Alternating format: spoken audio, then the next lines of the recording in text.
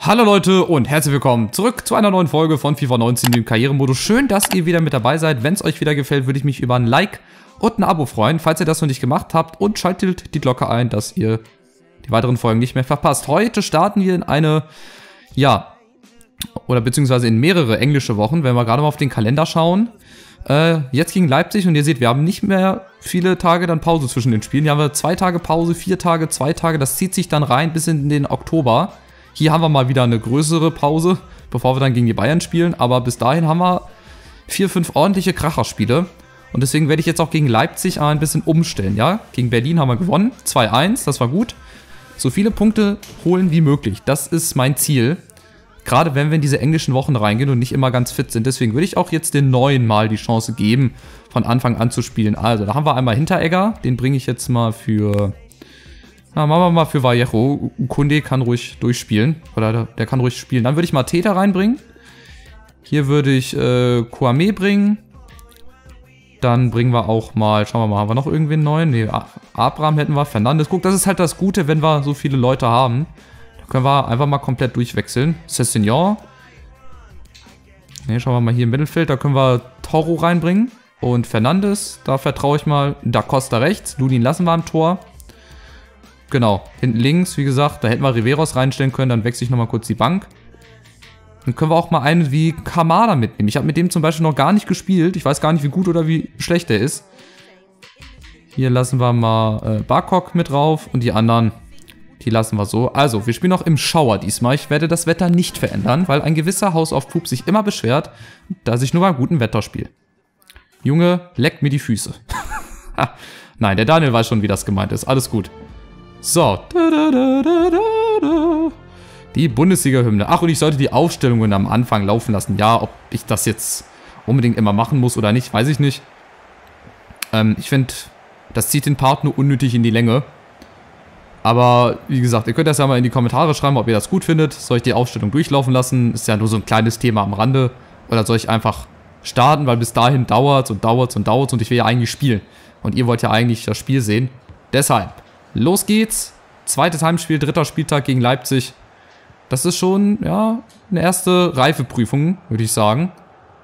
Gegen Leipzig, die sind nicht äh, gerade schlecht drauf. Auch in echt, glaube ich, letzten fünf Spiele alle gewonnen. Liga, DFB-Pokal, haben sie alles weggehauen. Aber mit uns ist nicht immer gut Kirschen essen, wie das heißt. Aber Leipzig spielt sehr druckvoll. Es kommt uns aber vielleicht entgegen. Mateta mit der ersten Chance. Und Müller. Oh. Hat da einer die Position gewechselt oder ist das ein anderer Müller? Wahrscheinlich ist das ein anderer Müller. So. Zack. Das, was Leipzig drauf hat, das können wir auch. Nämlich Pressing, vorne drauf, schnell umschalten. Guck mal, in der Mitte ist es. Ist ja alles frei. Das ist eine Riesenlücke. Rebic mit der ersten Chance. Rebic und Müller ist im Tor. Also.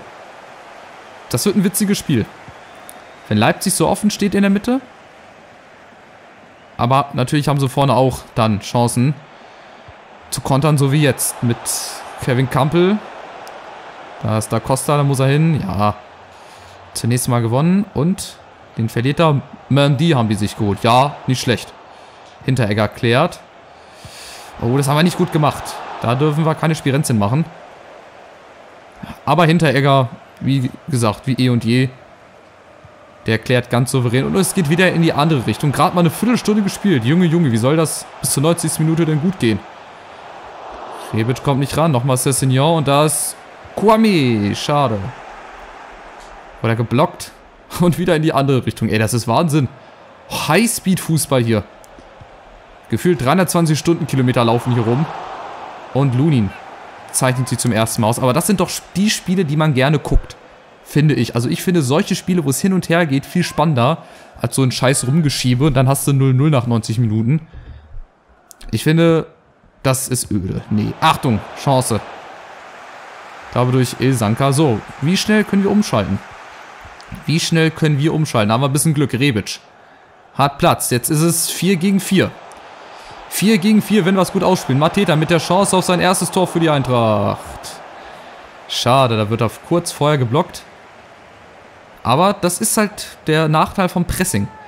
Irgendwann hast du halt mal eine Lücke. Du kannst nicht 90 Minuten den Gegner verteidigen. Das geht einfach nicht, sowohl wir als auch Leipzig. Deswegen wird Leipzig auch ab und an nochmal Chancen kriegen. Da ist Werner. Oh, Lunin. Bist du dir sicher? Ja, ist er sich. Sehr gut. Spielt mit. Und Leipzig wieder mit Mondi. Kevin Campbell, Ilsanker, Medran. Oh, Werner, pass auf. Hinteregger klärt. Oh, das war schlecht. Das haben wir nicht gut gemacht und da wäre es fast passiert. Das war mein Fehler. Nicht in die Mitte spielen, lernt man schon in der E-Jugend. Hier, das, der Ball war's. Und dann eine gute Parade von Lunin, oder? Ja, der war noch dran. So, Ecke. Kevin Campbell macht das. Erster Pfosten, diesmal ist Lunin da, sicher.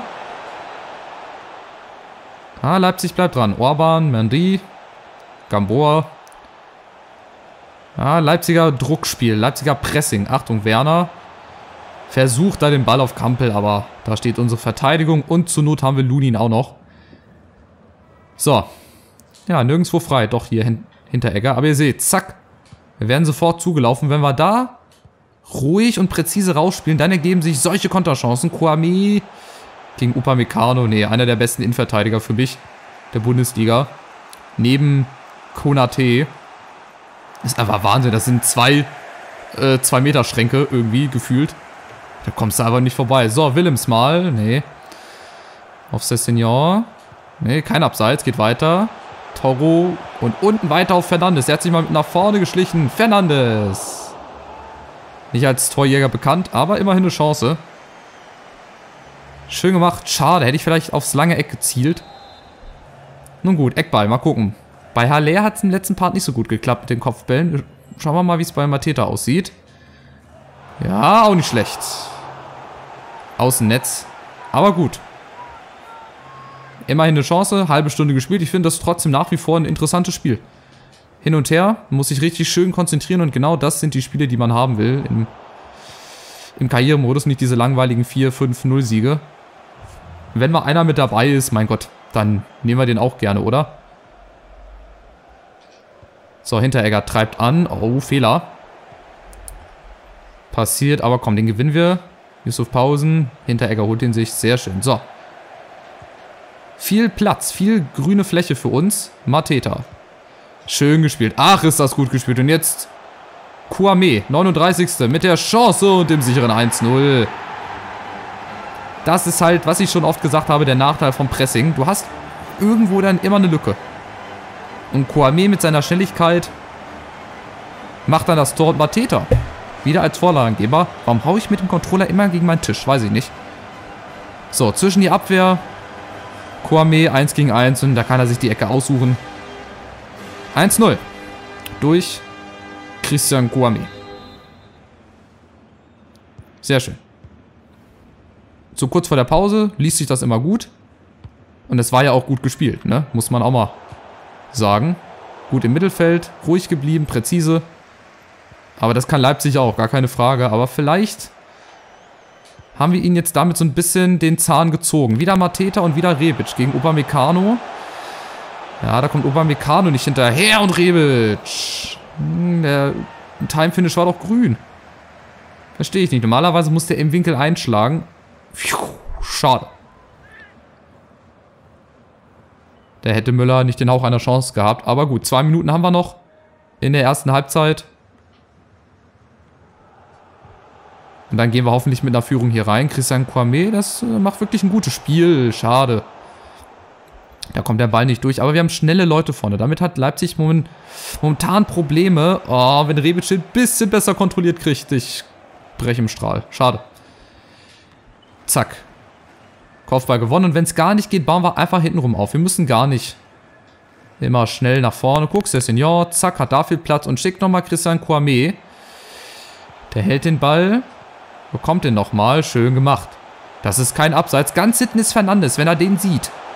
Den sieht er auch. Aber Fernandes verliert leider das, das Kopfballduell. Wir führen verdient. 1 zu 0. Aber Leipzig, Vorsicht, ist noch nicht geschlagen.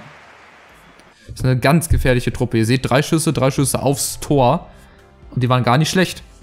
Aber auch nur, weil, viel, weil wir, glaube ich, Fehler gemacht haben. Und die Neuen bringen sich gut ein. Also Hinteregger, Jules Kunde sowieso. Mateta bin ich auch überzeugt. Für Christian Kouame freut mich das auch. Da steigt der Wert dann hoffentlich umso schneller.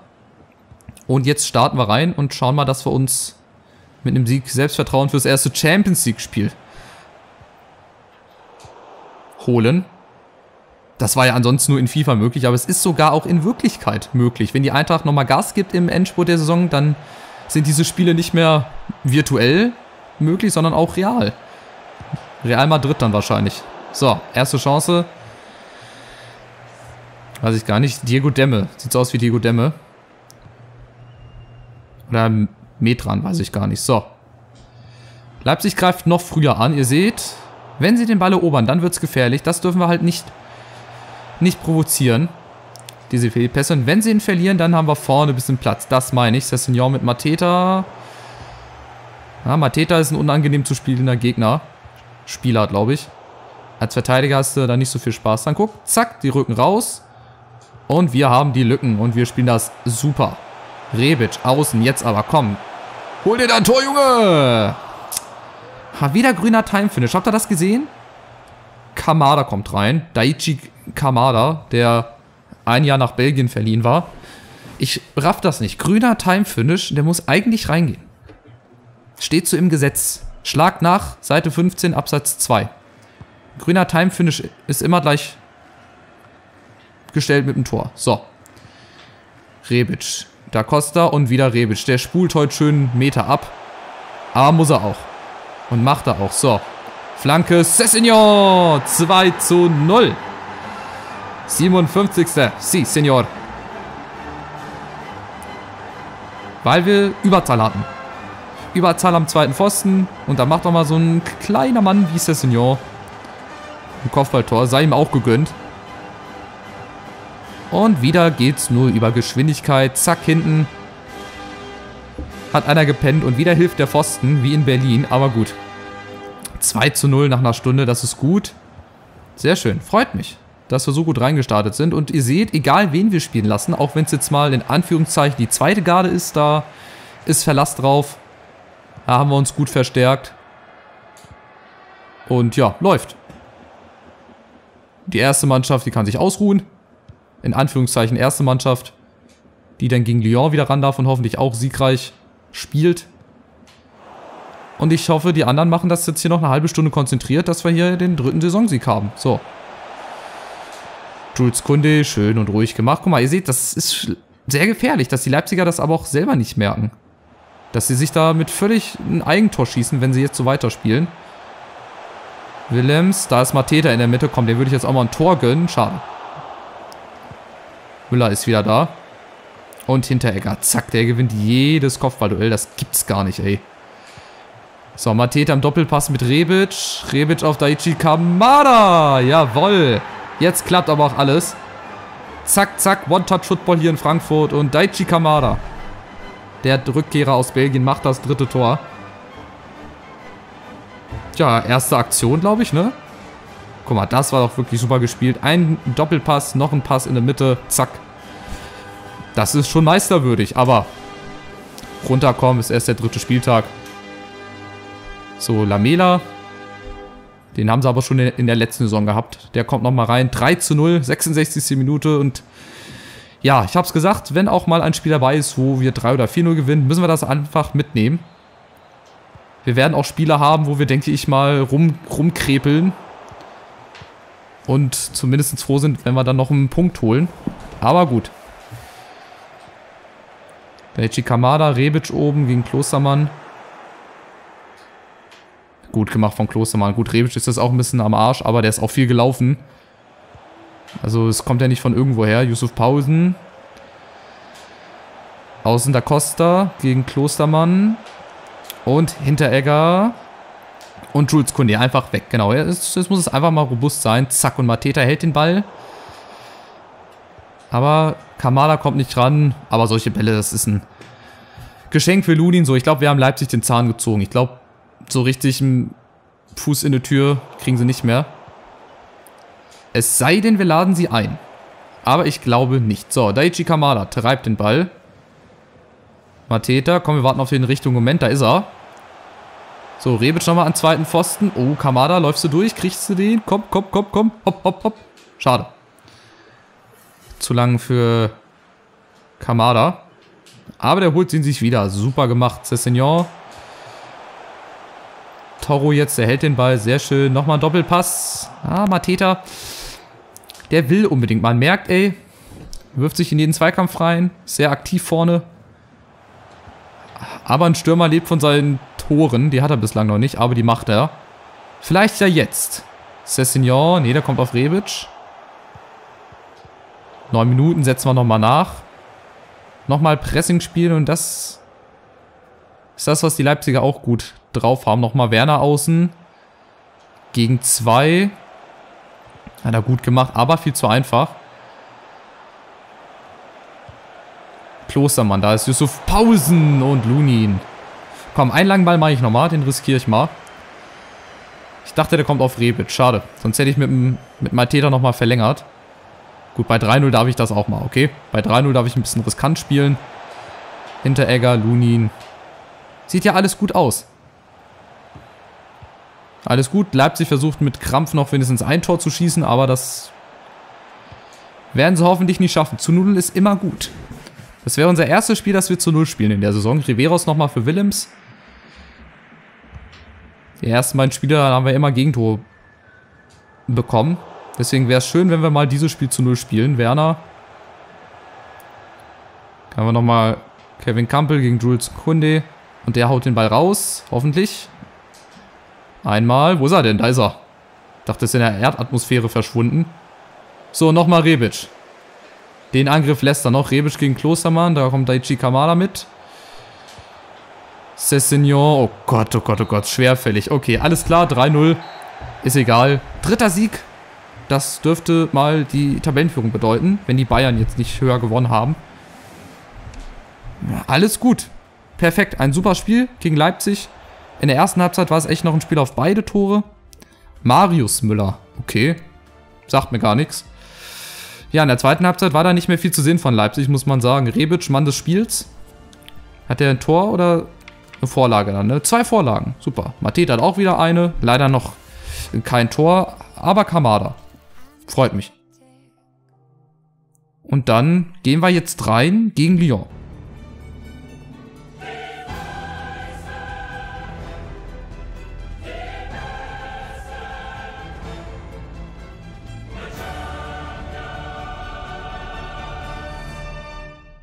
Ja, mega. Hoffentlich kriege ich dafür jetzt keinen Copyright. Strike. Ich wollte da jetzt nicht reinquatschen, deswegen. Aber das könnte wirklich auch nächste Saison Realität sein. Wenn die Eintracht das nur noch über die Ziellinie bringt. Wenn die irgendwie noch, weiß ich nicht, fünf, sechs Punkte holt, wenn sie gegen Mainz zu Hause gewinnen, in Leverkusen vielleicht was mitnehmen. Gut, in München da, da glaube ich, werden sie nichts holen. Aber die Chance ist da. Die Chance war noch nie so groß wie diese Saison. Und ich glaube, die Spieler wollen auch. Die Spieler wollen auch, glaube ich. Deswegen gehen wir mal davon aus, dass die Eintracht nächste Saison auch wie hier bei mir in FIFA Champions League spielt. Also danke fürs Zuschauen. Ich hoffe, es hat euch gefallen. Lasst ein Like und ein Abo da, wie immer. Empfehlt mich gerne weiter. Wenn ihr Freunde habt, die auch gerne FIFA gucken, sagt mal, ey, da gibt's so einen. Huch, der will jetzt nicht die Karriere beenden, sondern der macht super FIFA Let's Plays. Würde mich freuen. Macht's gut und ciao.